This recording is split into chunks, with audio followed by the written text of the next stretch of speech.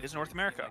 It, it's NA. I mean, did, that the game we just saw with TSM, in my opinion, top three, top four team in the LCS, and they couldn't close out that soul. They got soul at 27 minutes, and they couldn't close for 18 minutes straight.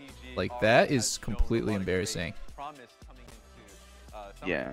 I, I think scaling has to be the way in NA because you will not get punished, and then you just go to Worlds, get shit on, and go next. That's literally what happens, though. Like most of the Yeah. time.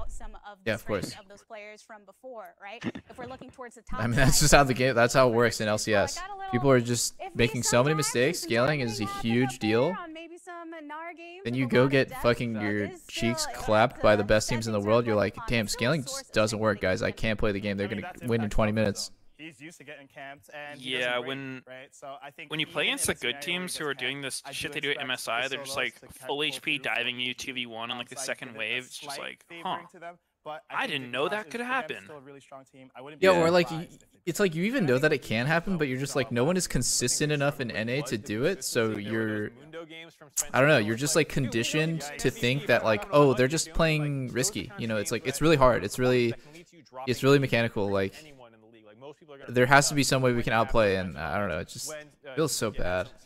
Yeah, I mean, I I think a lot of it's just uh, better teams recognizing where they can punish.